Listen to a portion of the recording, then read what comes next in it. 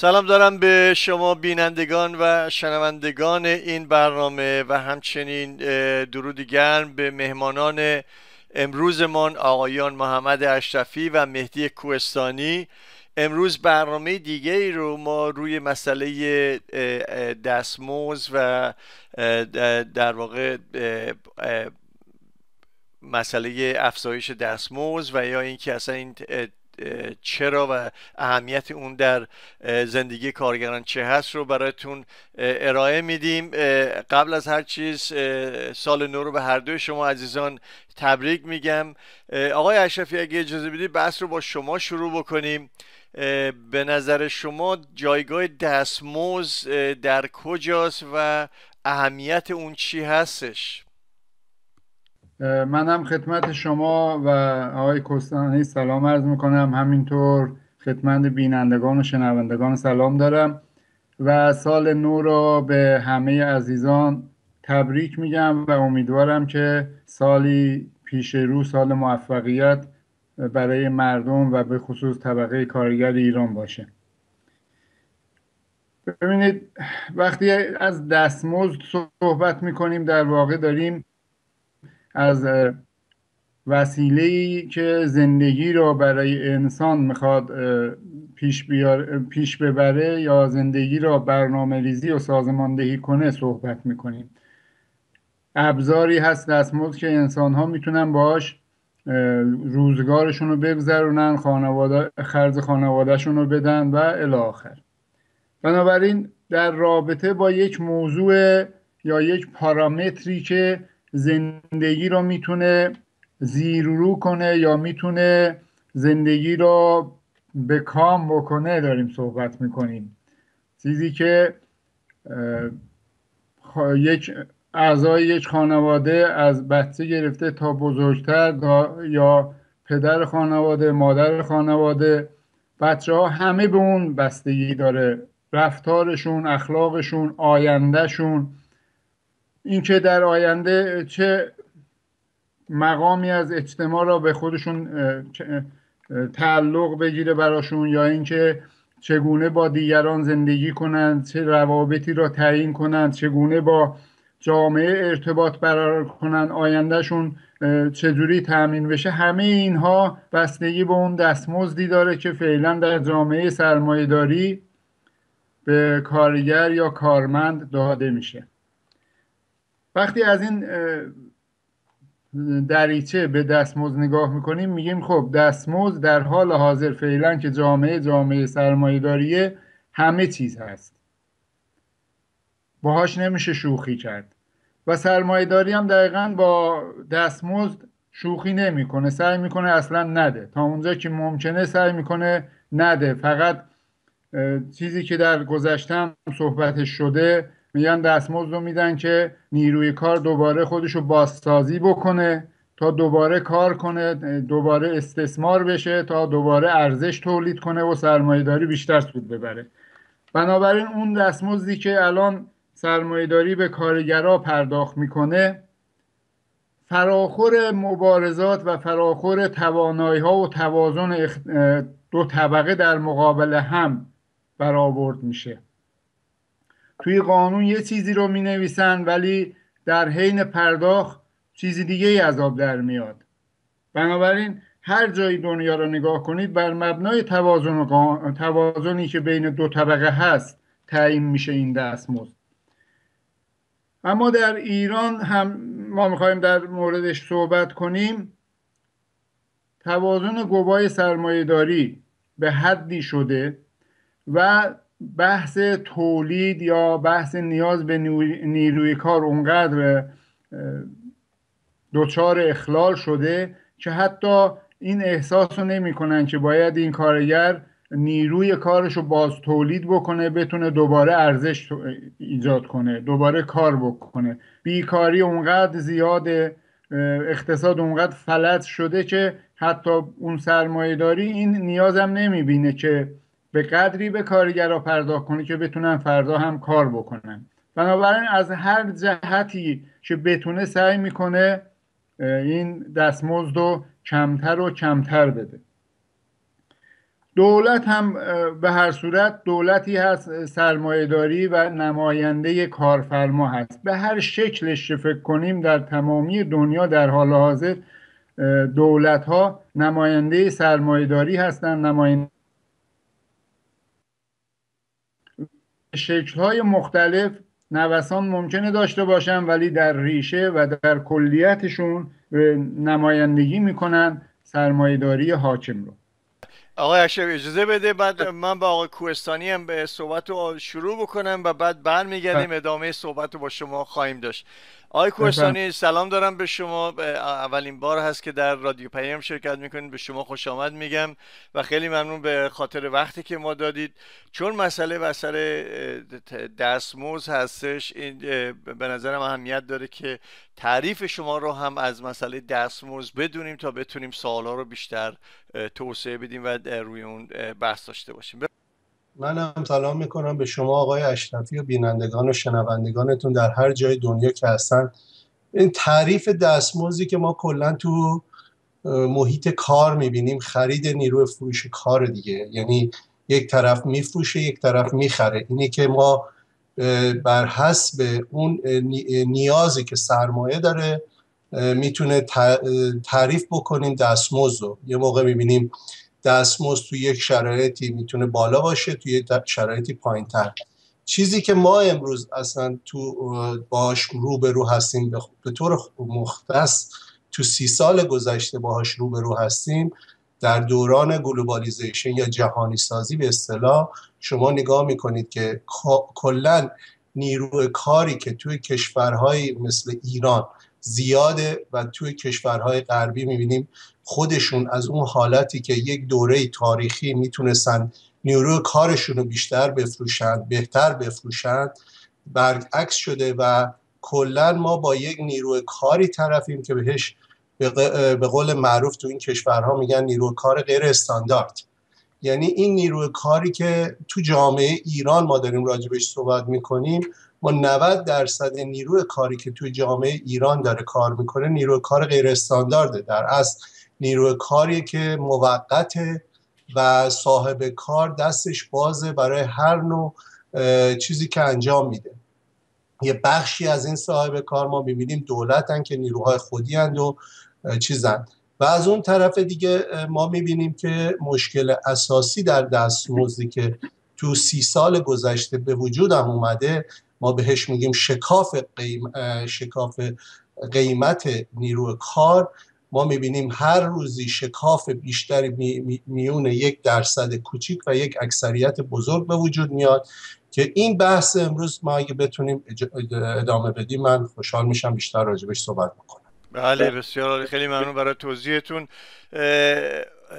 همینطور که هر دو شما مستظر هستید شورای عالی کار حداقل دستمزد کارگران رو برای سال 95 812 هزار تومان اعلام کرده. و وقت خود دولت هم خط فقر رو در واقع 3.5 میلیون عنوان کرده. آقای اشرفی شما آیا موافق افزایش قیمت افزایش دستمزد در سطح 3.5 میلیون هستید و آیا فکر می‌کنید باید الان مبارزه رو در این مسیر پیش برد یا نه؟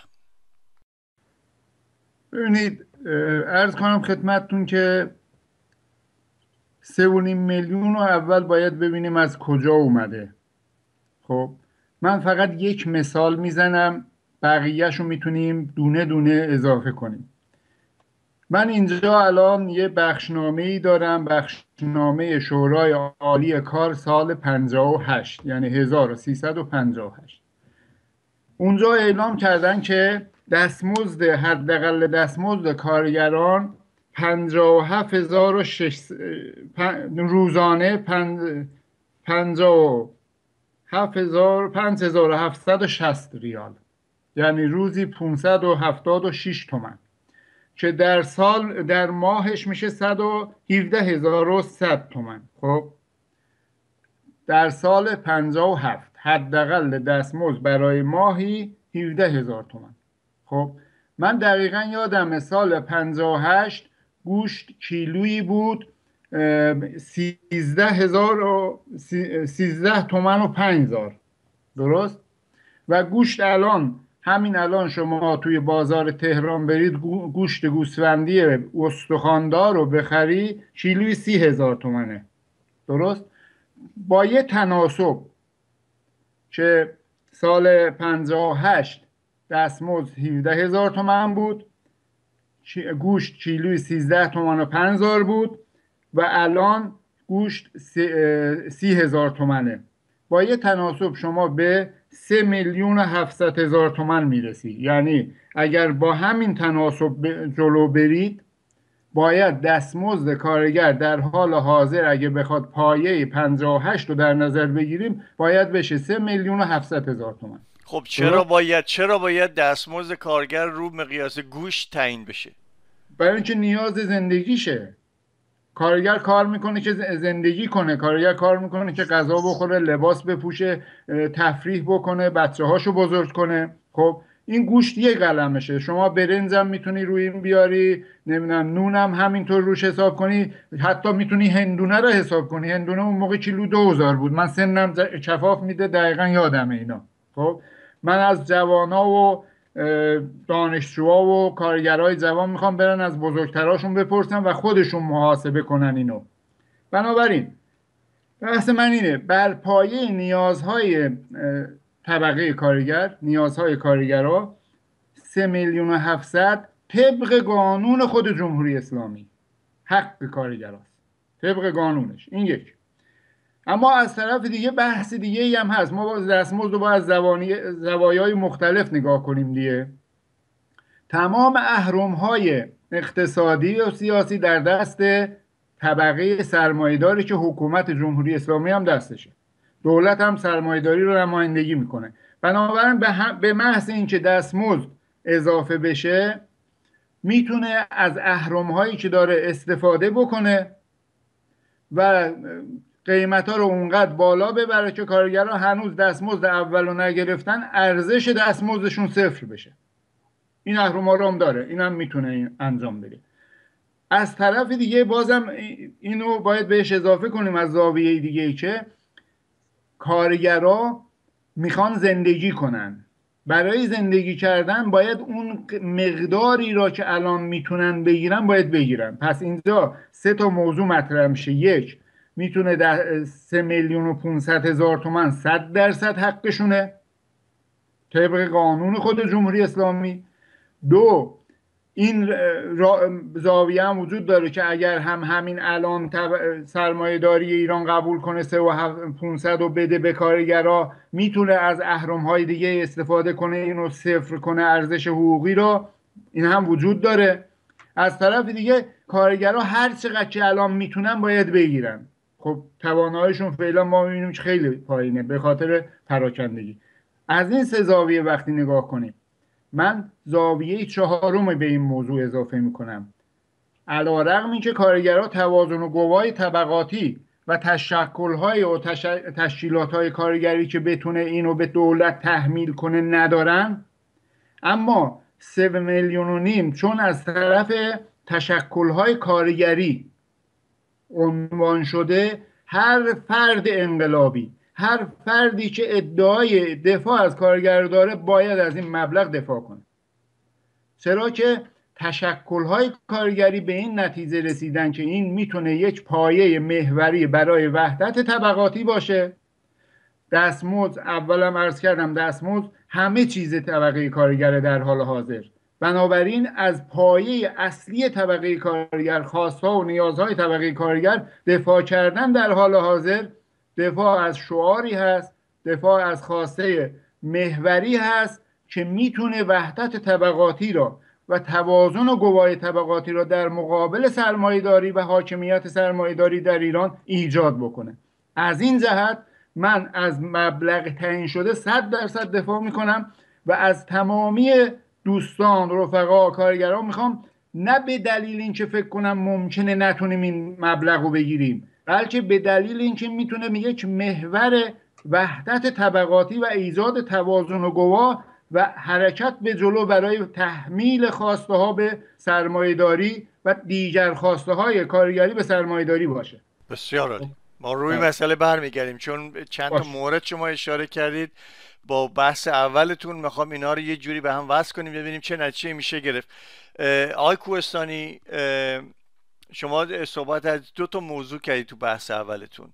البته اگر رو صحبت های آقای اشرفی هم نظری داری ملاحظه‌ای داری می‌تونیم مطرح کنید ولی شما گفتید دستمزد رو اساس خرید فروش کار هستش و بعد گفتید یه شکاف هستش توی شرایط کنونی ایران که این شکاف داره هر چقدر داره روز به روز عمیق‌تر هم میشه. آیا به نظر شما انگشت گذاشتن روی افزایش در واقع این دستمزد تا حد 3.5 میلیون می‌تونه این در واقع شکاف رو کمتر کنه و یک به قول آقای اشرفی یک محوری برای وحدت طبقاتی باشه؟ ببینید این واقعیتیه که شما الان تو ایران بچه پنج ساله ای که میره برای بغل پدرش وای میسته. پلاکارد رو سرش می‌ذاره می‌نویسه من گرسنم پدرم کار نداره و ما حقوقمون کفا به زندگیمون رو نمیده. شما نگاه بکنید اینو جامعه داره میگه. یعنی ما که اصلا دیگه نمی‌تونیم راجبش حرف بزنیم. جامعه اتفاقا من فکر کنم بحث حداقل دستمزد تو همین کشور هم شما نگاه کنید حداقل دستمزد الان 700 سال سابقه تاریخی داره. از 1348 میلادی رو حداقل دستمزد بحثه. ولی چیزی که امروز تو جوامع غربی راجع به دستمزد حداقل میگن معمولا حداقل دستمزد رو برای کارهای خیلی پایه‌ای میگن. یعنی شما کمتر می‌تونید برید ببینید که یک نفر تو جامعه مثل ما همین الان که توش داریم زندگی می‌کنیم بگن حداقل دستمزد 11 دلار 25 سنته. اصلا چند درصد جامعه اینو می‌گیره این دستمزد حداقل؟ تو کشور ما که وضع در واقع یه سطحیه که دیگه زیر این نمی‌تونن نه نه نه نه. بحث بر سر اینه که شما باید یه میاری بذارید برای اینکه جلوگیری بکنید از از اجحاف به یک نفر جوونی که تازه وارد کار میشه. این نوع کارا رو معمولا این نوع دستمزد برای بسیار پایینه. تو کشور ما مسئله دستمزد مشکلش بسیار عمیق‌تر از این حرفاست یعنی شما نگاه بکنید که کارگری که امروز دارن استخدام می‌کنن با این حداقل دستمزدی که همه هم می‌دونن. شما دارید توی کشوری حرف می‌زنید که 800 هزار تومن حداقل دستمزد 700 هزار تومن اجاره خونه است. حالا ما بگیم همه همه هم سبزی خار میشه. یعنی شما اصلا اونو بذاریم کنار. اون بحث اصلا قابل توضیح راجع ما راجبش نمی‌خوایم توضیح بدیم. چیزی که من فکر کنم از این حرفا باید بالاتر باشه. ولی چیزی که باید راجبش صحبت بشه و این شکافه رو که شما توضیح دادید ما نمونه داریم. ما تو همین ایران خودرو کارگرا دارن اخراج می‌کنن. فیش حقوقی رؤسا 60 میلیون تومنه. در ما. شما حساب بکن جامعه رو به طوری افتضاح کشوندنی ما امروز بحث از خرابی اقتصاد نمیم وقتی میگه بحران داره یعنی بحران نمی‌تونه جوابگو باشه. یعنی این بحران نمی‌تونه این قائله رو پیش ببره. یعنی جامعه الان توی بحران اقتصادی داره زندگی می‌کنه و توش هم بسیار وضع وخیمه چون فساد عمیقی هست. یعنی شما نگاه بکنید به کارگری که حقوقی که میدن بعد دارن اخراجش هم می‌کنن. بعد نگاه می‌کنن می‌بینن تو هر محیط کاری یه دونه مقاطع کار گذاشته این مقاطع کار هم آشناهای خودشونن. توی کشور ما امروز اگه یک نفر مریض بشه فردا صبح نمی‌تونه بره بیمارستان. یعنی باید فاتحهش رو بخونه. تو این کشورها شما دارید میگید آقا حداقل دستمزد بهداشت رایگان دارن. هزار یک مشکل یه چیزهای دیگه در کنارش دارن در صورتی که اصلا بحث دستمزد حداقل اینجا اونجوری مطرح تو ایران یه بحرانی داریم که امروز ما باید سازماندهی بکنیم برای بیشتر گرفتن دستمزد. نه تنها سه میلیون واقعیت جامعه زندگیشون. یعنی من نمی‌خوام بگم جامعه تغییر کرده و بر اساس نیازهای تکنولوژی جدید مردم هم سطح زندگیشون رو بالا. نه اتفاقا سطح دستمزد بر اساس خرید و فروشه. متاسفانه ما یه بخش عمده نیروی کار موقتمون که 90 درصدش باشه نیروی کاریه که از کشور از افغانستان اینا رو حتی به رسمیت هم نمی‌شناسن. شما نگاه بکنید تو بخش های بسیاری از جامعه ما تو دو دو دو تو نساجیاش غیرش حتی این حداقل دستمزدها هم نمیدن. ما به بعضی از جاها می‌بینی که به طرف میره کار بکنه 700 تومنه بهش 400 تومن میدن. مثلا یک چیز واقعا وحشتناک غیر انسانی تو اون جامعه پای پابرجاست که وظیفه من امروز نه تنها تفسیر این وضعیت بلکه تغییر این وضعیته که ما چجوری می‌تونیم. این نیروی کاری که امروز به قول آقای اشرفی پراکنده من اسمشو نمی‌ذارم. سرکوب شده است. یعنی شما با یه نیروی کاری طرفید که سرکوبش می‌کنن حتی اگه مقایسهش بکنیم با سال 60 لاجوردی برمیگشت گفت کسی نمیاد از اینا دفاع بکنه که اینا زندانی سیاسی امروز حتی وکیل فعال کارگری رو هم زندان می‌کنن. پراکندگی من فکر نمی کنم مشکل ماست. مشکل ما اینه که مایی که می‌تونیم از این زاویه به این سازماندهی تو این شرایط کمک بکنیم وظیفه ما چیه؟ ما چجوری می‌تونیم این افشاگری ها رو بکنیم؟ من نمونه برای شما بیارم. همین دو هفته پیش تو چین بالای 600 تا اعتراض کارگری بوده. همش هم به خاطر شکاف قیمت مزد بوده. و ما تو بخشای الان ما بخشای داریم گاندون شنجن اینا تمام شرکت های خارجی هن. یعنی وقتی به طرف 700 ین میدن یارو اصلا که 700 ین چیه؟ بحث بر سر قیمت نیروی کارشه.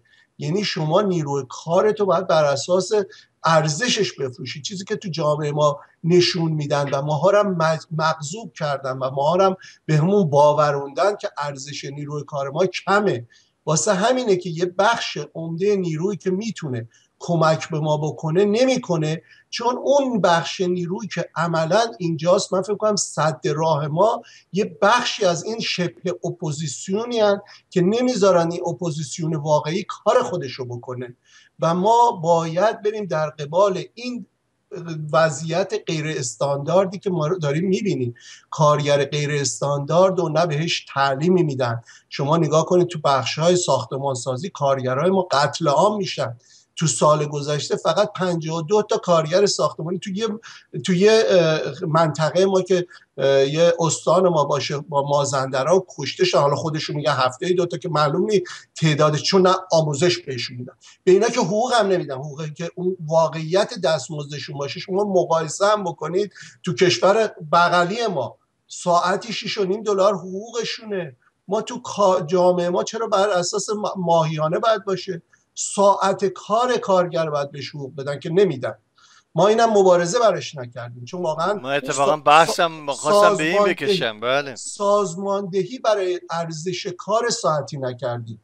ساعت کار تفریح شما اصلا بحث نکردیم. ناهارش رو بحث نکردیم. یعنی ما باید از یک بنیادی شروع بکنیم اینو سازماندهی افشاگرانه بکنیم که بنیادی که تو اون جامعه است از تمام زوایاش بحرانی داغون و جنبش کارگری ما می‌تونه. من مطمئنم اینو شک ندارم جنبش کارگری ما آقای اشرفی که دیرتر از من اومده هر کدومشون اگه بفرستی دو تا آیلو رو درس میدن.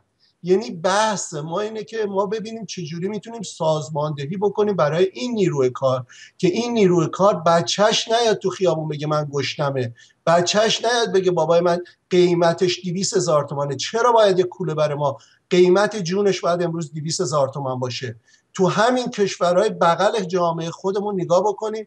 مگه میشه کارگر کارگر نساجی بنگلادش وقتی کشته شد ببینید چندین هزار دلار به هر کدومشون دادن؟ چرا ما کارگرمون وقتی موقت نوشته یعنی متاسفانه ما خیلی تو دام این شبه اپوزیسیون میفتیم. امروز تمام آمار و ارقام ما از جریانی میاد به اسم خانه کارگر و حزب خانه کارگر و اینا که داره به ما حق نمی‌کنه دروغو کارگرای ما امروز خانه حزب خانه کارگر به دروغ داره به ما میگه حادثه کارگری جنایت کارگری داره تو اون جامعه اتفاق میفته بحث از حادثه کارگری ما نه معنی نمیده. ما روزانه بین 5 تا ده نفر دارن تو اون جامعه کشته میشن قیمت خونه اینا چقدره؟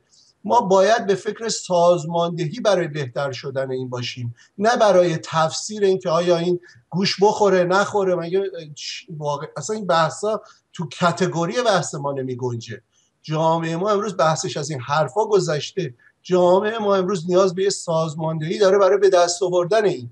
این به دست آوردن هم در گروه افشاگری امثال ماست. یعنی ما نمی‌تونیم بریم پای بحث از شکاف طبقاتی نریم افشا بکنیم. رؤسای مقاطع کار بین 20 تا 60 میلیون می‌گیرن. ما باید اینا رو افشا بکنیم. ما باید دست به این فاصله دستمزد بزنیم. یعنی اگه ما نریم پای این بحثا و نگیم که این نیروی کاری که امروز تو غرب بهش تو سی سال گذشته بهش میگن precarious یعنی نیرویی که از لحاظ ایمنی یا حتی چیز ساختار کاریش نامنظمه هیچ تضمینی نداره.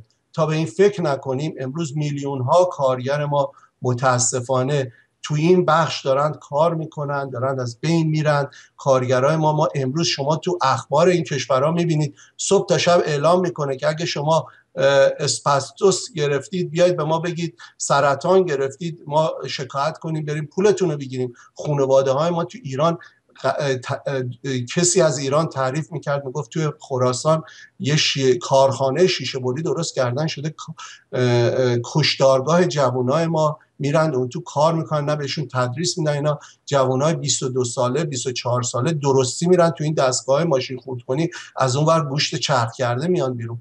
بحث از دستمزد من فکر کنم بعد فراتر از اینا گفت و رفت روی سازماندهیش و من فکر نمی کنم هیچ کسی امروز بیاد حتی خداشونم ازشون سوال بکنیم من که اصلا شرمم می‌گیره اصلا اسم شورای اسلامی کار و غیره رو بگم چون اینا توهین تا توهین به, به وجدان جنبش کارگری ما از این آدم ها اصلا اسم برد و در کنارشون نشست. ما باید موضوع رو ببریم سر اینکه ما چجوری می‌تونیم سازماندهی کنیم کمک بکنیم برای بهتر شدن زندگی بله. و حق واقعیشون. متشکر از شما.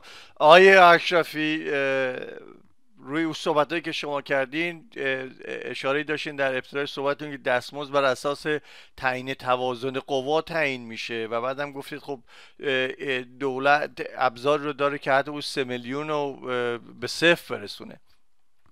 آقای کوهستانی اشاره داشتن الان ما تو کشورهای به حال غیر از ایران خیلی از کشورها داریم می‌بینیم که اساس دستمزد بر روی ساعت کاره. یعنی حداقل دستمزد رو روی ساعت می‌ذارن.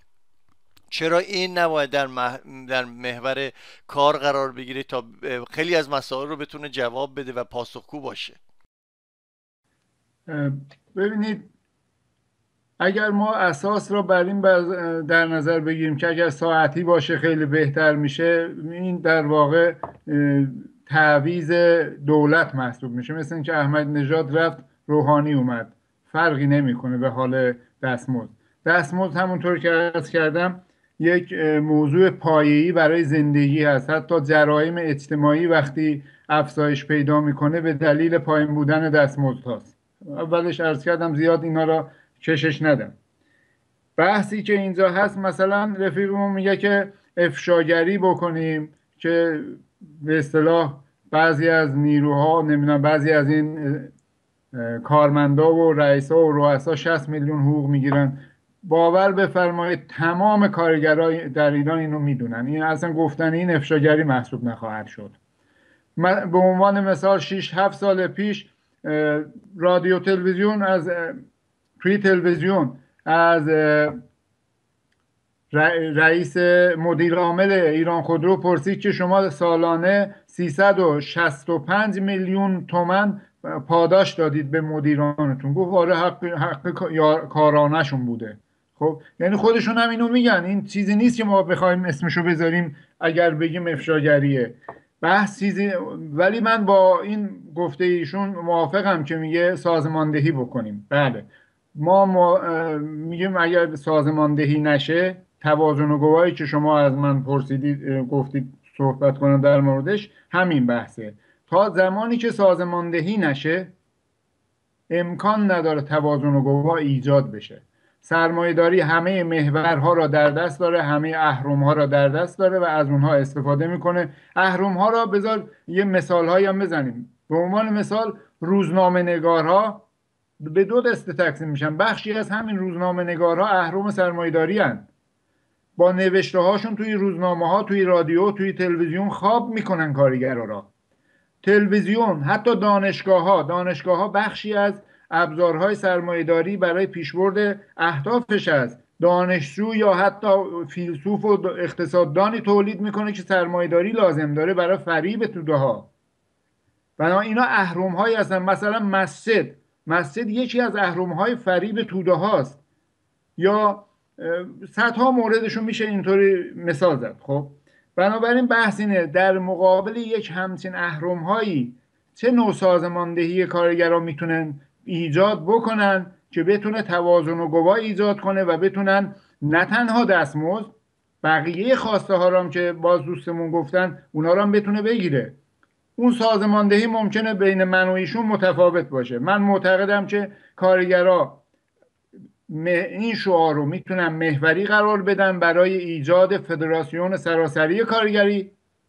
با توجه به اینکه شاهرخ و حیدر مغلی پیشنهاد داده بودند که همین تشکل هایی که موجود هستند بیان هیئت مؤسسی درست کنند و اون هیئت مؤسس به سمت ایجاد فدراسیون سراسری کارگرها حرکت کنه به بقیه کارخونه ها و به بقیه بخش های کارگری کمک کنه تشکل هاشون و هر تشکلی که می‌خوان سندیکا یا چیزی دیگه می‌خوان ایجاد بکنن و به همین شکل هم فدراسیون رشد بکنه و هم تشکل های جاهایی که تشکل نداره ساخته بشه.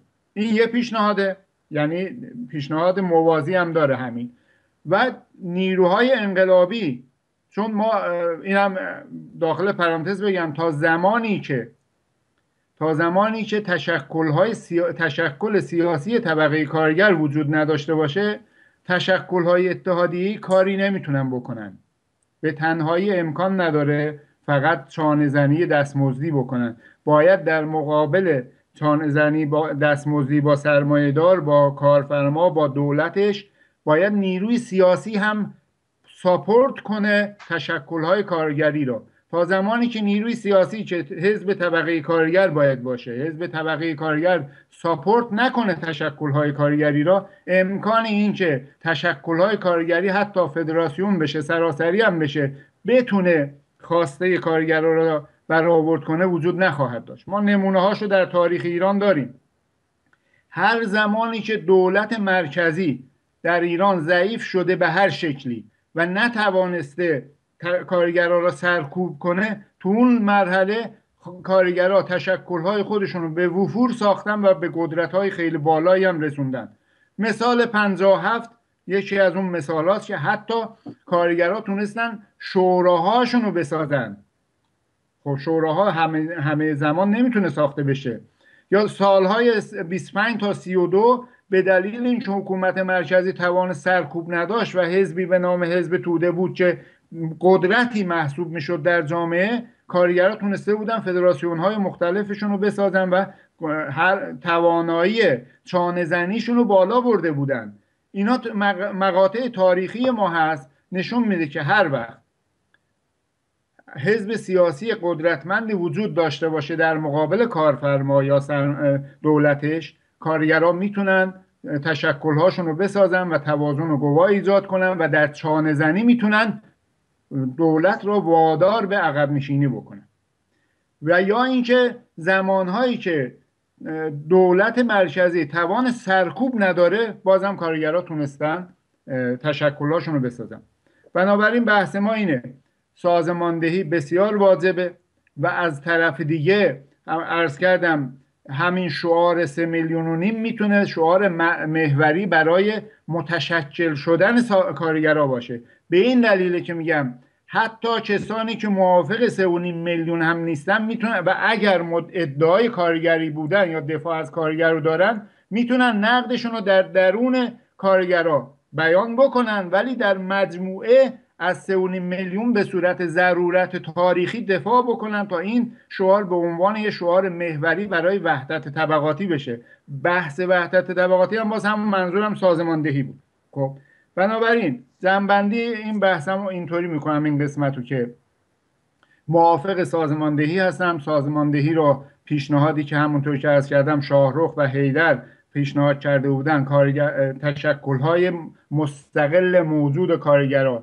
بیان هیئت مؤسسی تشکیل بدن برای ایجاد فدراسیون سراسری کارگری و انقلابیون طبقه کارگر. کارگرای انقلابی سوسیالیست بیان هسته های مخفی مخفی کارگری را ایجاد بکنن و از طریق اون هسته ها حزب واقعی طبقه کارگر ساخته بشه. این دو باید موازی حرکت کنه. هرگاه ما بتونیم به این بخش دست پیدا بکنیم مطمئن باشید که می‌تونیم سه میلیون رو به دولت تحمیل بکنیم یا حقوق متناسب با زمانش رو می‌تونیم تحمیل بکنیم و از اون طرف اهرم های سرمایه داری را که می‌تونه ارزش دستمزد رو صرف بکنه از کار بندازیم. ببین یکی از راه های از کار انداختن اهرم ها اینه که دولت کنترل کنه قیمت ها رو. اگر طبقه کارگر قدرت داشته باشه دولت رو مجبور می‌کنه وقتی دستمزد کارگر رو برد بالا برنج رو نذاره بره اونقدر بالا بره که دستمزد صفر بشه. ولی این هم توازن و قوا لازم داره. بنابراین همه اینا برمیگرده به این که ما از این شعار به عنوان شعار پایه‌ای محوری استفاده کنیم به سمت متشکل شدن طبقه کارگر حرکت کنیم. بعدش بتونیم وقتی توازن و قوا ایجاد کردیم بتونیم هم خواسته هامون رو تحمیل کنیم و از اون طرف دولت و سرمایهداری رو وادار کنیم که از اهرم هایی که صرف می‌کنه ارزش دستمزد رو جلوگیری بکنه. بسیار به هر صورت من زنبندی این بود بفرمایید. بله. آقای کوهستانی قبل از اینکه برگردیم چون که توضیحاتی که آقای اشرفی دادن روی مسئله این که چگونه باید وضعیت رو تغییر داد روی مسئله سازماندهی که شما اشاره کردین انگوش گذاشتن. ولی قبل از اون میشه شما هم یه اشاره روی مسئله ساعت در واقع حداقل دستمزد بر اساس ساعت نه بر اساس ماهانه. می‌تونید توضیح بدید چه چون آقای اشرفی اعتقادی ندارن که این تفاوت آنچنانی داره یا به نفع کارگر تموم میشه. آیا به اعتقاد شما این می‌تونه یک مسیر جدیدی باشه و چرا؟ ببینید واقعیتش اینه که این تاریخ داره ساعت کار. اینجوری هم نیستش که ما فکر کنیم اگه به روزو بکنیم به ساعتی چی تغییر نمی‌کنه. به خاطر اینکه موقعی که شما دارید ساعت کار بحث می‌کنید تو ساعت کار می‌تونید ساعت کار کمتری با همون مبلغ رو بتونید اضافه بکنید که نیروی کار بیشتری رو به استخدام درارید. اینو تو اگه یادتون باشه من فکر می‌کنم همه یادشونه دیگه. جنبش 32 ساعت کار تو فرانسه که تو دهه 80 را افتاد یه جنبشی بود که برای اینکه از زندگی بیشتر لذت ببری کمتر کار بکنی. این بحثی که اصلا تو کل اروپا اینو مطرح کردن. اتفاقا سرمایه نمی‌خواد هیچ موقع ساعتی بده. یعنی الان شما نگاه کنید یه بخشایی از نیروی کار تو غرب اصلا ساعت نداره. یعنی طرف همیشه باید آماده به کار باشه. اتفاقا ساعت کار اونایی دارن که تو نهادهای سنفی سندیکایی هم براش مبارزه کردن میگه آقا من سی ساعت ساعت کارم میفروشم. ولی تو محیط هایی که سندیکایی نیست مجبور طرف هر موقع می‌خواد مثل آماده باشه دیگه. قربونش برم. امروز دست همه یکی یه دونه تلفن دستی ایمیل هم همه چیز هست. طرف 24 ساعت بعد چشش به این تلفنش باشه و مشکل اساسی هم به وجود آورده. ببینید من فکر می‌کنم ما سر یه سازماندهی صحبت می‌کنیم ولی از دو دنیای متفاوت صحبت می‌کنیم. سازماندهی که من معتقدم بهشم واقفم کارم بوده. ما وقتی میگیم که افشاگری بکنیم به خاطر اینکه کارگر وقتی تو محیط کار شما جلو دو هزار تا کارگر وایسا بگو که آقای فلانی ما 45 میلیون حقوقشه برای یه میلیون و صد هزار تومن شما جونشون بالا میاد. ببینید برخورد اون دو هزار تا کارگر چیه؟ با من 15 سال مذاکره کردم برای همین ساعت کارم موقعی که می‌رفتی توی جلسه عمومی به کارگر می‌گفتی که صاحب مدیریت حقوقاش اینه اینه اینه کارگر آماده است. یعنی تو باید کارگر بهش منطق بگی. نه اینکه فکر کنیم ما می‌تونیم با هر حرفی بهش بگیم آقا 3 میلیون 10 میلیون 20 میلیون. کارگر بر اصول یک سری منطق دستیابی به یه مبارزه می‌خواد یه کاری رو بکنه. امروز کارگر می‌دونه که یه جامعه بحران زده فاسده ولی اینا به شوخیش کردن. وقتی میگه 300 خورده میلیون تومن هست اون میگه آره دادیم کارشون بوده. نه. اگه این دو, این دو هزار تا کارگری که تو اون قسمت ها ما تو همین یه بخش کوچیکش انجام دادیم دیگه. وقتی شما به کارگر بگی یعنی خاصه کارگر رو باید با واقعیت زندگیش گفت. کارگری که داره ماشین سازی کار می‌کنه برای چی شما فکر می‌کنه تو همین کشوری که من و شما داریم زندگی می‌کنیم برای چی کار بخش عمده ماشین سازی رو برمیدارن می‌برن تو مکزیک؟ به خاطر اینکه ساعت 62 سنت حقوقش. اینجا چند سی و خورده ساعت. کارگر وای میسته مبارزه می‌کنه میگه نه خیر صبر کن چون نمی‌تونی اینو برداری بری یه جا دیگه. امروز سازماندهی در داخل کشور ما اگه توجه بکنید من یادم سالهای اوایل 90 وقتی من بحث تشکل سندیکایی رو می‌کردم همه به من گفتم برو بابا بهترینش میشه همون ترکیه. آرزوتونه من گفتم اگه ترکیه رو بهمون بدم ما چه کلامون 60 متر میندازیم بالا. چرا؟ چون معتقد بودیم تو همون جامعه ترکیه نیروی اجتماعی قوی متمایل به چپ وجود داشت. نه متمایل به راست. شما وقتی سندیکاها تو این کشور شکل گرفتن بنیانگذاراش نیروهای چپن نه راست. اگه تو پروسه تاریخی شما می‌بینید محافظه کار میشن به خاطر تفاوتیه که تو خیلی جاها ما می‌بینیم. ما هم میریم می‌بینیم طرف وقتی که تو محیط کارش حقوقش خیلی بالاست. ما محیط های کار کارگری سنفی داریم حقوقش از نماینده مجلس ما بالاتره. به خاطر چی؟ به خاطر مبارزه کردیم. ولی امروز تو جامعه ایران باید سنف تو با اون مراحل پیچ، پیچیدت ببرید جلو. یعنی نمی‌تونید کارگر رو قبل از اینکه تو داخل محیط های کار تو شرایط کارش بهش اون چیزی که از دل خودش میاد با شرایط خودش میاد و نسازی بری بهش بگی فدراسیون بسازیم با یه سری آدمی که نشد که. فدراسیون که رو هوا درست نمیشه تو محیط کار در میاد. تو تمام کشورها شما نگاه کنید فدراسیون حمل و نقل شگیریش بر اساس مبارزه با فاشیست بوده. اصلا کتابی که در میارن که تو ایران هم چاپ شد اینا در مقابل با این که فاشیستا به اینا فشار می آوردن تو کشتی ها تو قطارا برن مسائلشون چیزاشون رو ببرن اینا می‌خوان مبارزه می‌کنن. میگن نه فدراسیون درست کنیم هممون با هم تو یک مسیر جلوش وای میسیم. اون موقع است درسته. ولی ما تو جامعه داریم صحبت می‌کنیم که هنوز خیلی چیزها برای مردم ما عادی نشده.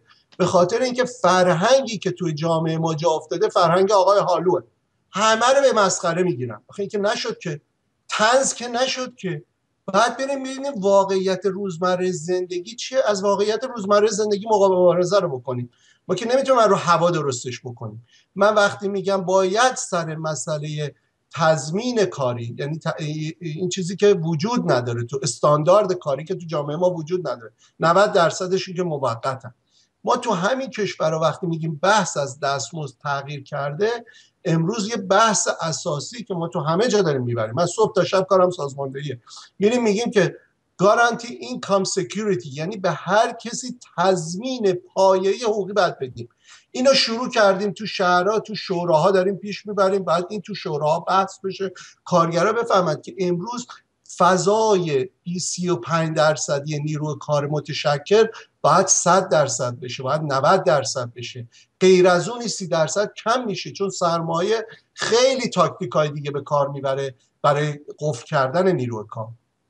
تو کشورهای مثل ایران ما باید نگاش بکنیم که اتفاقا خیلی خیلی رادیکال تره. یعنی امروز شما برو تو منطقه ما حرف بزنید. امروز میگن سرآمد مبارزات متشکل کارگری ایرانه. ما زمانی که بهار عربی شد همه دنبال بهار عربی افتادن. تو جامعه جامعه ما جنبش کارگری ما دنبال بهار عربی نیفتاد. چرا نیفتاد؟ به خاطر اینکه می‌دونست مکانیسمای اون بهار رو میشنا موقعی که این جامعه سر مسئله عراق بود جنبش ما وایساد در کنار مبارزات مردم عراق. نه در کنار مبارزات کسایی که می‌خواستن حمله بشه.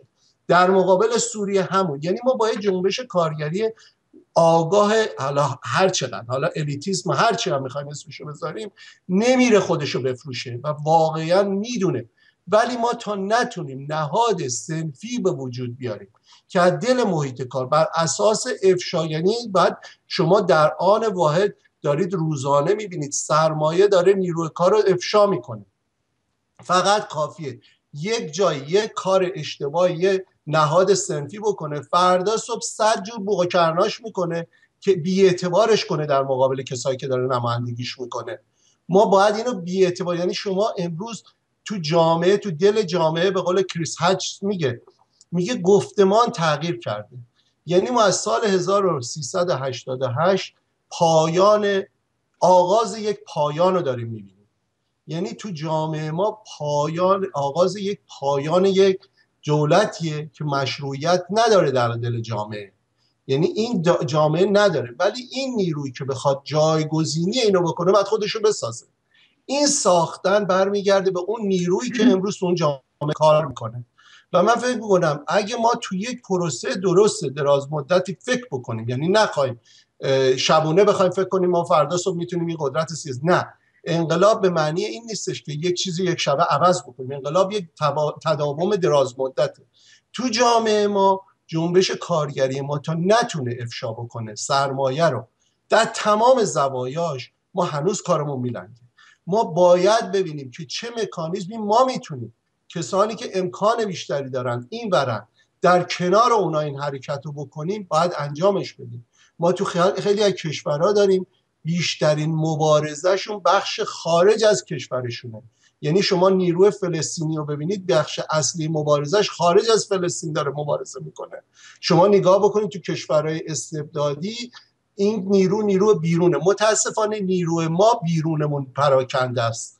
نیروی خارج از کشور ما پراکنده است. ولی داخل کشور ما بسیار هم با همدیگه عیاقن و هر کدومشون بدونن شبونه یکی دیگه کارش گیره برایشون زندگیشون هم می‌ذارن. آقای اشرفی یادش زمانی که تو پارک لاله وقتی دستگیر می‌شد چجوری همه داد و بیداد و گریه و زاری می‌کردن که آقای اشرفی رو نبرند یا اون یکی رو نبرند. بچه آقای اشرفی اونجا تنها داد نزنه. این جامعه تو داخل کشور بسیار با هم دیگه یک نباختن تو خارج از کشور ما پراکنده درست میگم. پراکندگی ما هم کارشو نمی‌تونه پیش ببره تا اینکه ما سر یک چیز پایه‌ای توافق نکنیم. این توافق پایه‌ای ما اینه که باید به رسمیت بشناسیم. این مبارزه درون کشور ما در مقابل یک دیکتاتوری لجام گسیخته عقب افتاده است. یعنی توضیحی که خودشون میدن به درستی میگن. میگن ما اول انقلاب می‌گفتیم. یک کشوری می‌سازیم که هم خوبی های سوسیالیسم رو داشته باشه هم خوبی های سرمایداری رو. الان یک کشوری ساختیم که هم کسافت سرمایداری داره هم کسافت سوسیالیست رو. ما باید ببینیم که این جنبش کارگری در مقابل این کسافت می‌خواد چیکار بکنه. اونا متشکلن. امکانشون هم خیلی کمه دستاشون هم بسته است. حرف هم بزنن یکیشون حرف بزنه دومی رو گرفتن. شب تا صبح هم دارن تو در خونه هر کی رو شما نگاه کنید دو تا استراق سم گذاشتن چهار تا بند می‌ذارن. هر کی می‌خواد راه بره پشتش میرن کارگر تهدید می‌کنن کارگر تبعید می‌کنن کارگر رو اذیت می‌کنن کارگر تو زندان. آقای شاهرخ زمانی که زنده زنده دیگه یعنی شاهد زنده ما کشتنش. یعنی عملا کاری کردن که تو زندان طرف داره کشته میشه. یعنی ما باید ببینیم نیرو خارج از کشور پراکنده چجوری می‌تونه به این مبارزه که در درون کشور ما بسیار هم داغونه بسیار امکانش کمه ولی بسیار شکوفاست بسیار رشد می‌کنه رو حمایت بکنیم. بله روی این مسئله باید یه مقدار به عنوان بستن این بحث برگردیم. آقای اشرفی روی این مسئله که شما اشاره داشتید رو مسئله تشکیل فدراسیون یا تشکل های سیاسی و حزب طبقه کارگر. پتانسیل اون رو به چه شکل می‌بینید الان؟ با وجود اختناق با وجود اینکه رهبران کارگری هر کدوم صداشون در بیاد در زندانن آقای کوهستانی مشاری به زندیات شارخ زمانی کردن. بقیه هم همینطوره. و الان ما داریم می‌بینیم که کارگرا رو با قراردادهای سفید امضا می‌گیرن تهدید اخراج بالا سر همه هستش. با این شرایط اقتصادی با این شرایط پلیسی با این شرایط ویژه‌ای که هستش این مراحلی رو که شما توضیح دادید چگونه پایه عملی پیدا می‌کنه؟ من قبل از اینکه به سوالتون بپردازم یه سری توضیحات لازمه. ببینید اگر من تو کانادا نبودم باور کنید گفته های آقای کوهستانی رو باور می‌کردم. ولی من خودم تو کانادا. من کارگاه های چینی رو دیدم که 5 دلار بهش میدن در حال که دستمزد حداقل دستمزد ساعت اینجا 11 و خورده ایه. من اینجا مکدونالد رو می‌بینم که کارمندا و کارگراش موقتا به خاطر همون که ساعت کار محسوب میشه بیمه نیستن. هیچ جا ثبت نمیشه. یا من اینجا توی تیم هورتونز کارگرا رو می‌بینم چه ساعتی کار می‌کنن پاره وقت بهشون میگن بیمهشون نمی‌کنن. هیچ حق و حقوق غیر از اون دستمزدی که بهش میدن ندارن اینا رو دولت همه رو خبر داره. خب این چه چیزی رو نشون میده؟ نشون میده نوع سازماندهی که آقای کوهستانی میگه شکست خورده.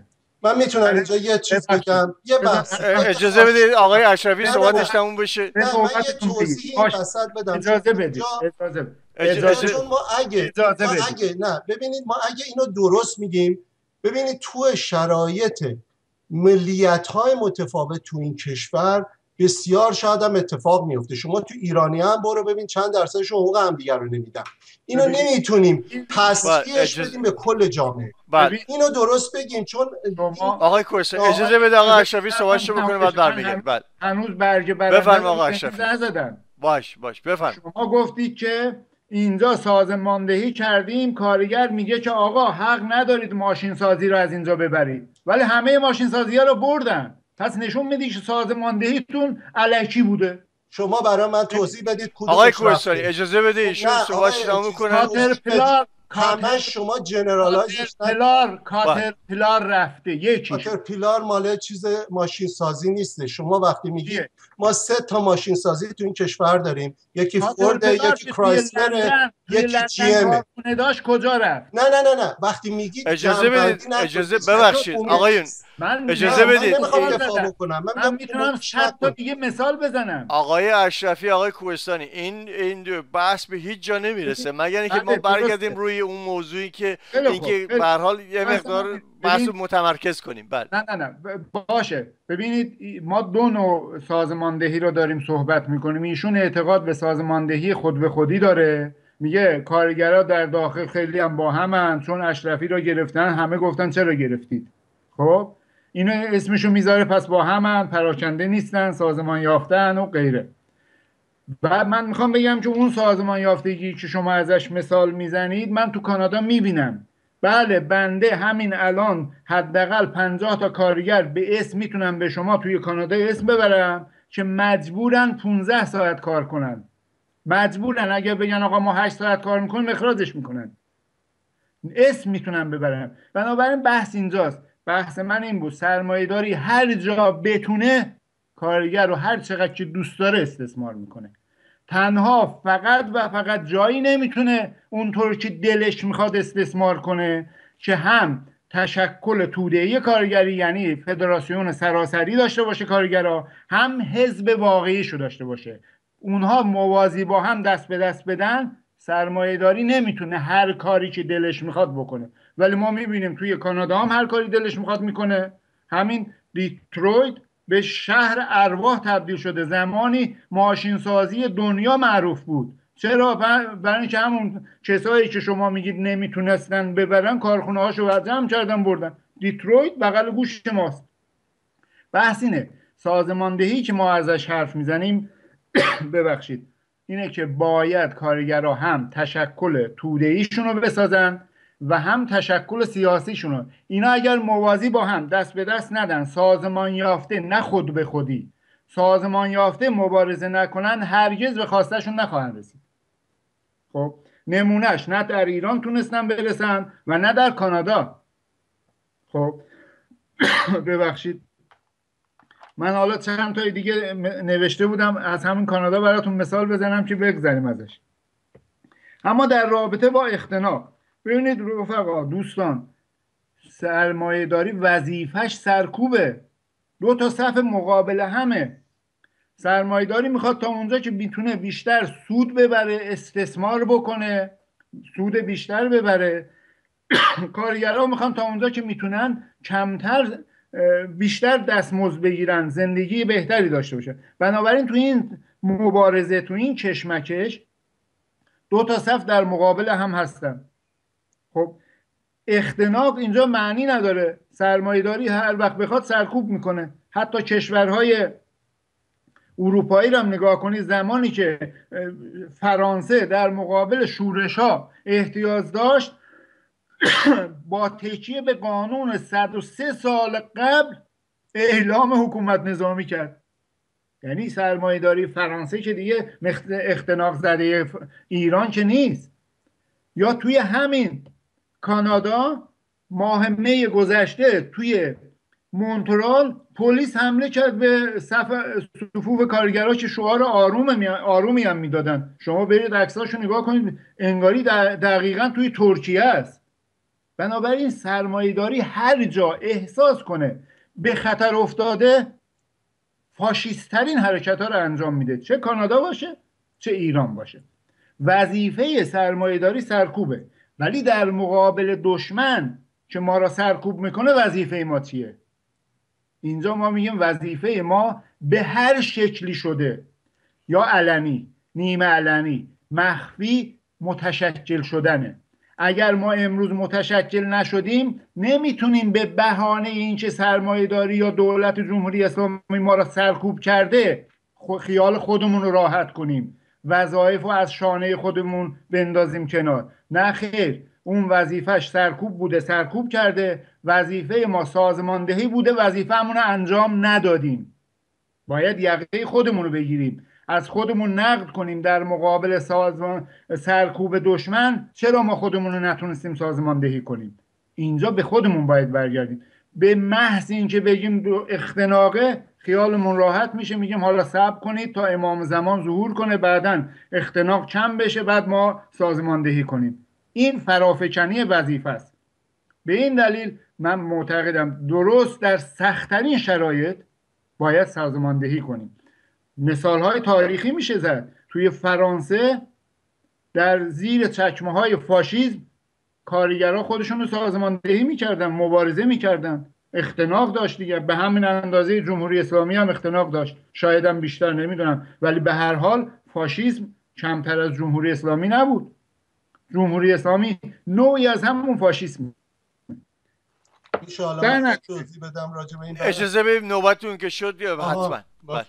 بفرمایید. من حرفمو اینجا قطع می‌کنم. ببینید من بحثی که کردم در رابطه با کشور ترکیه بود. نگفتم کانادا.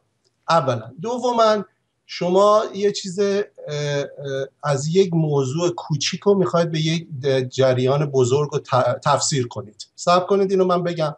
بله. با یه نمونه مکدونالد یا یک نمونه قهوه خونه فروشی نمیای موضوع جامعه ایران رو ما با هم یکیش کنیم.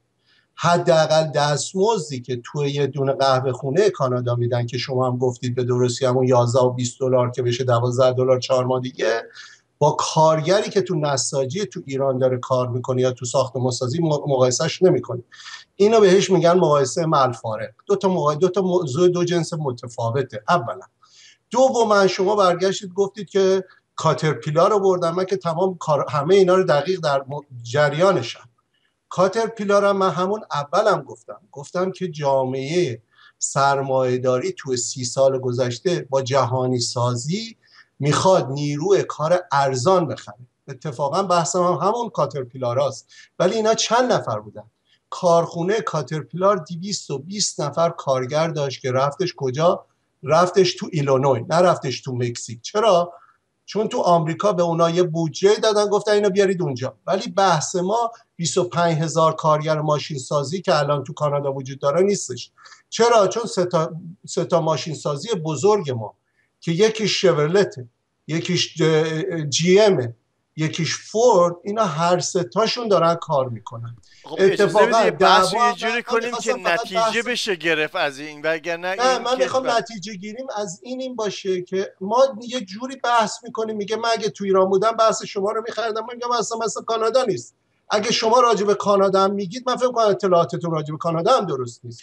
چون اگه شما بیاید تو همون شهر خودتون دوبار برید تو این شورای شهرتون بشینید ببینید کارگرام راجع به اونجا چی میگن. بس بر سر جامعه ایران با وضعیتشه. من مقایسه تاریخیم ترکیه بود. گفتم 15 سال پیش زمانی که تو ما بحث از سندیکا می کردیم خیلی ها تو همین کشورها می‌گفتن بهترینش همین ترکیه است. ولی الان همه همون آدما پشت صفحه فیسبوکشون راجوا می‌زنن. خیلی خوب. آقای کوهستان اجازه بده من اینجا, اینجا اجازه بده من اینجا چون باید بحثم ببندیمش طولانی میشه. ازت خواهش ما اینجا نگه دارید. آقای اشرفی می‌خوام همون سوال و چون می‌خوام این سوال چه باید کرد از دوتاتون بپرسم. آقای اشرفی من سوالی که از شما پرسیدم بار قبل پاسخ نگرفتم و ازت خواهش می‌کنم روی این مسئله متمرکز باش چون می‌خوام ببینم که این چجوری ما می‌تونیم این وضعیت رو تغییر بدیم. شما اشاره کردید به فدراسیون تشکیل های سیاسی یا همون حزب طبقه کارگر با هیئت مؤسس. من می‌خوام ببینم که وقتی که ما قراردادهای سفید امضا داریم وقتی که شرایط اختناق داریم وقتی که رهبرا جاشون تو زندانه پایه عملی این کار. نت علاوه تئوری بله ما قبول داریم. می‌خوام ببینم پایه عملی این از لحاظ شما به چه شکل هست که ما می‌تونیم به اون در واقع توازن بین تشکلهای کارگری و حزب سیاسی طبقه کارگر برسیم. ببینید ما اینطوری بحثمون رو پیش ببریم که سندیکای شرکت واحد نه فقط برای دستمزدشون سرکوب شدن بلکه برای تشکیل دادن سندیکا سرکوب شدن. خب بنابراین ما می‌بینیم طی این چند سال ده دوازده سال گذشته سندیکای شرکت واحد علا رقم سرکوب شدن خودشو حفظ کرده و اعتبار بسیار زیادی در جامعه داره. یا سندیکای هفت تپه همینطور درست در همین اختناق ساخته شده. درست؟ بنابراین بحث ما اینه ساختن فدراسیون هم سخت خواهد بود. سرکوب خواهند شد. به عنوان مثال جعفر عظیمزاده را بردن محاکمه کردن و بهش گفتن که اعلام کن اتحادیه باید منحل بشه. گفت میرم زندان منحلش نمی‌کنم. پس می‌بینید در حین اختناق هم محکم وایساده روی ساختن تشکلش. بحث اینجاست. کارگرای فعال در داخل فعالین کارگری در داخل به دنبال ساختن تشکلهاشون هستن. و متاسفانه نیروهای انقلابی حمایت های لازم رو نمی کنن. خب بدون شک سرکوب هم خواهند شد. شاهروخ را کشتن. برای چی؟ برای اینکه از همون داخل زندان هم همچنان اعلام می‌کرد که باید فدراسیون بسازید باید سندیکا بسازید باید حزب بسازید. یعنی می‌خوام بگم اختناق باعث نشد اینا خفه بشن. منتها ما باید به دنبال این باشیم که میشه کرد میشه حزب برای اینکه بقیه حزبا باید جواب بدن این بحثو. آیا اگر حزب طبقه کارگر هستند چرا این همه اعتراضات رو نمی‌تونن سازماندهی کنن؟ نه خب این یه بحث جداگانه است. من می‌خوام ببینم پایه عملی کار شما به پایه عملیشو می‌خوام صحبت کنم. و اگر نه به این نتیجه می‌رسن که نیستن پس چرا اقدام برای ساختنش نمی‌کنن؟ پراکنده که ازش صحبت می‌کنیم. ما برای از بین بردن کارگرها از اینکه شکنزه بشن از اینکه زندان بشن دیگه ما می‌بینیم اکثریتشون یا حداقل و اقلیتشون نمیترسن میرن و زندان زندان هم میشن حتی کشته میشن. بنابراین از این موقعیت باید استفاده کنیم. پایه عملیش یکیش همین دستمزد که به این نتیجه رسیدن خودشون هم می‌دونن. اعلام هم می‌کنن میگن علارقم این که می‌دونیم جمهوری اسلامی در حال حاضر تابع نخواهد شد و این سه و نیم میلیون رو به ما نخواهد داد. و اینم می‌دونیم که یک و نیم میلیون هم نخواهد داد و اینم می‌دونیم که حتی 900 هزار هم بخواهیم الان نمیده.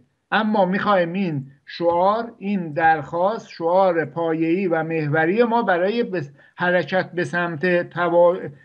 وحدت طبقاتی بشه. خب این یه پایه عملیه. ما وظیفه‌مونه که ازش حمایت کنیم. من تو صحبت هم عوض کردم. هر کسی ادعا می‌کنه که آقا طرفدار نیروی کارگریه طرفدار طبقه کارگره یا خودش عضو طبقه کارگره.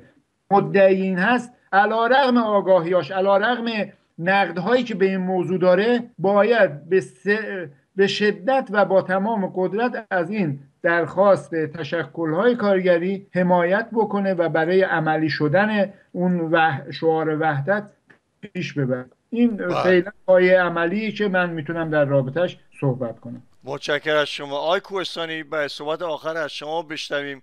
توی صحبتات قبلیتون اشاره کردید که افشاگری حالا نمونه که آوردی دستمزد کارفرمایان بود. بسیار کمک می‌کنه. از یه طرف دیگه هم اشاره کردید که کارگران ایران متحد و آگاه هستن و مشکل در واقع اپوزیسیون خارج از کشوری که متفرق هستش. سوال رو جلوی شما این شکل می‌ذاریم که چجوری میشه این وضعیت رو تغییر داد و پایه عملی که میشه این وضع رو تغییر داد از دیدگاه شما چه هستش؟ من اینو حتما جواب میدم. یه چیزی فقط آقای اشرفی گفت. من اینو توضیح بدم. آقای اشرفی برگشتش گفتش که سرمایه داری همه جا سرکوب می‌کنه. این ربطی به ایران هم نداره. ایران فرقی با بقیه نداره که من آقای اشرفی اینجا نشسته بودیم. خب ما هم تو ایران بودیم دیگه. بس بر سر دو مدل سرکوب یه رژیم ارتجاعی عقب افتاده رو ما نمی‌تونیم با خیلی جای دیگه مقایسه بکنیم. بحث برگردونیم سر سازماندهی. من برگشتم گفتم که تو داخل کشور ما سر اون اهدافی که می‌خوان تو ده سال گذشته هم شما نگاه کنید اول ماه میاد یه قطنامه میدن. این قطنامه 18 ماده دیگه. تو این 18 ماده قاعده کار خودشون رو میگن. سازماندهیشون بر اساس اون حرفای پایه مادی شده یعنی وقتی که میگن زنان از حقوق برابر باید داشته باشند به خاطر اینکه بخش عمده نیروی کار موقت ما الان 50 درصد جامعه ما زنان و این زنان رو شما باید بیارید با حول این محور مبارزه. ما الان یه مشکلی هم که داریم زیادم شما اگه همین تشکلات هم که نگاه بکنید بخش عمدهش هم مردان یعنی ما نتونستیم تو اون زمینه کارمون رو بکنیم. یه مشکل دیگه ای که داریم کمتر بهش پرداخته میشه. ما یه نسلی داریم که بالای پنجاه میلیون ما عملا بعد از انقلاب به دنیا آمدن من با ده ها یه, یه جایی نشسته بودم بالای پنجاه نفر نشسته بودم همین جوان های زیر سی سال. باورتون نمیشه. وقتی گفتم که آره این کتابی هستش اینا یک کدوم اینا فوق لیسانس و لیسانس و غیره و زالی. یکیشون نمی‌دونست مارکس کیه. یه جامعه ما باش روبرویم که تمام سیستم آموزشیشو داغون کرده. یعنی آموزشی که داده یا آموزش خرافاتی و غیر است. من آگاهی رو که میگم روح عمومی جامعه است. ما تا نتونیم یه سازماندهی درست بر اساس شرایطمون یعنی شما نگاه بکنید ما اگه امکان داشتیم که سندیکای واحد اولین اعتراض خودشون شما اگه یادتون باشه با چی شروع کرد؟ چراغش رو روشن کرد. یعنی ما باید با یه چیزای شروع بکنیم که جنبه امکانات داشته باشیم بتونیم عملیش بکنیم. و الا شما برو توی یه جمع 20 نفری یا برو 50 نفر بگو آقا ما می‌خوایم یه کاری خانم آقا ما می‌خوایم یه کار بکنیم میگه خب به من چه؟ من چی میشه این وسط؟ من وضعیتم چی میشه؟ شما ما تو همین کشورم وقتی بحث اعتصاب می‌کنیم ما باید سه سال روی اعتصاب کار بکنیم که این اعتصاب آمادگی بکنیم. یعنی وقتی ما داریم مبارزه می‌کنیم تو این کشور برای افزایش دستمزد آخرین حربه ای که ما داریم اعتصابه. یعنی اعتصابو که ما اول نمیگیم ما آخر باید بریم به اون برسیم که اعتصاب آخرین ابزاریه که باید ازش استفاده بشه. تو جامعه ما این ابزاری که امروز وجود داره و بهش نمی‌تونیم ما بپردازیم. من میگم پراکندگی نیرو خارج از کشور به خاطر این بگم که یه سری گروه ها ده ها ساله میشینن با همدیگه جلسه می‌ذارن شاید هم همدیگه رو ببینن. ولی سر یه کار واقعی نمی‌تونن. این افراد من اصلا تشکیلاتی سراغ ندارم. اگه شما سراغ دارید به منم بگید برم بخونم. چون اینا هنوزم بعد سی سال بخش عمده این آدما آدمای سی سال پیشم. نیروی جوانی تو این تشکیلات نیومده. من میگم ما می‌تونیم یک نیروی اجتماعی رو حول یک سری محورها جمعشون کنیم. یعنی این نیروی اجتماعی رو ما باید آمادش بکنیم. ما تا سال 78 زمانی که کنفدراسیون تکون نمی‌خورد 76 کنفدراسیونی وجود نداشت. ما نمی‌تونستیم تو داخل کشور اونجوری نیرو ببریم. ما باید توی خارج از کشور نیرویی که می‌تونه سر چیزای حداقل با هم دیگه کنار بیاد بشینه کارشو بکنه. دستاوردی که امروز تو اون جامعه داره کار می‌کنه اون امکاناتی که همه دارن در مقابل یک نیرو ارتجایی. این نیرو ارتجایی رو اینا دارن با هم دیگه کار می‌کنن. اگه ما بخوایم خودمون رو بر اساس اصولای خودمون کار بکنیم خب آره می‌تونیم هی برگردیم از گذشته نقل قول بیاریم که تو کمان چی گذشت تو انقلاب روسیه چی گذشت؟ اگه اونا کار می‌کرد که الان انقلاب روسیه که این وضعیتش نبود که که گنداب جامعه سرمایهداری روسیه سینه حتی کوچکترین ارزش های دوران انقلاب اکتبر تو جامعه الان وجود خارجی نداره. ما باید با سال 2016 به قول آقای کریس هنج من این واقعا بارها میگم بریم بخونیم بریم ببینیم دستاورد این کشورها چیه. ببینیم چه نیروی جدید خلاقیت داره. ما اصلا خلاقیتی تو جامعه خودمون زیاد آنچنان شکوفا نمیشه چون اون ور سرکوب میشه این ورم حواسشون نیست. چون کار نمی‌کنن تو اون محیطایی که واقعا باید برن کار کنن یاد بگیرن چجوری میشه. نه اینکه یه گوشه اشتباهش رو بگیریم هی گندش بکنیم بگیم ما خرابه خاطر که کار خودمون رو ثابت بکنیم. ما باید بشینیم. این جامعه توش امکاناتش محدوده. چون شما اگه امکان داشت سرمایهداری ایران مثل سرمایهداری ترکیه بود که کسی از پا نمی‌شد بیاد تو این کشور خب میستاد همونجا مبارزهشون می‌کرد. آقای آقای شاهرخ رفت تو زندان تازه بخش عمده کار علنیشو کرد. بیرون از زندان که آنچنان شناخته شده نبود که. ما باید اینا رو به خودمون رک باشیم صاف و صادق به خودمون بگیم که بخش عمده مبارزه ما باید بر شرایط واقعی ما باشه. اون مبارزه امروز تو اون جامعه به نظر من خیلی خلاقه. در مقایسه با منطقه.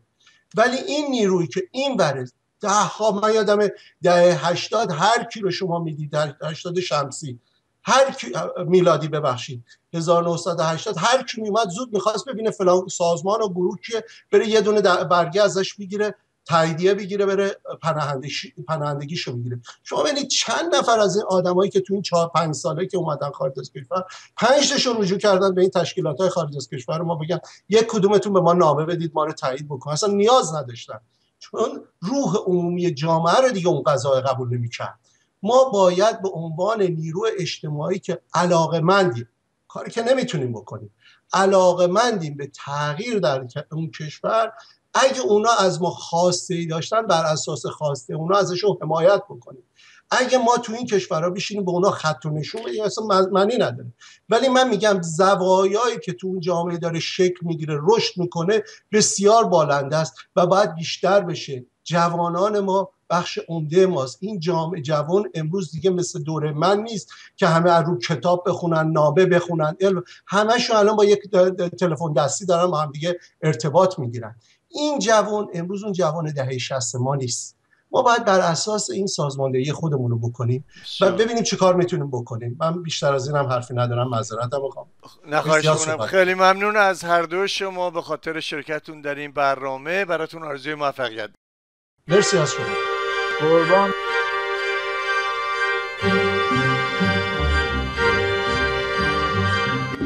رادیو پیام تنها رادیو فارسی زبان در شرق کاناداست که از ساعت دو نیم بعد از ظهر به وقت هلیفکس ده شب تهران روزهای شنبه به مدت دو ساعت روی طول موج FM 88 ممیز یک به روی آنتن می رود. برای اطلاعات بیشتر و همچنین برنامه های گذشته به وبسایت ما www.radiopayam.ca مراجعه کنید.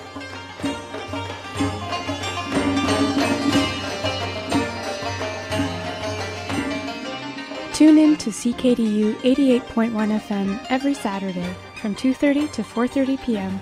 for Radio Payam with your host Amir. On air since 2009, Radio Payam is the only Farsi show on the East Coast. For more information, visit radiopayam.ca.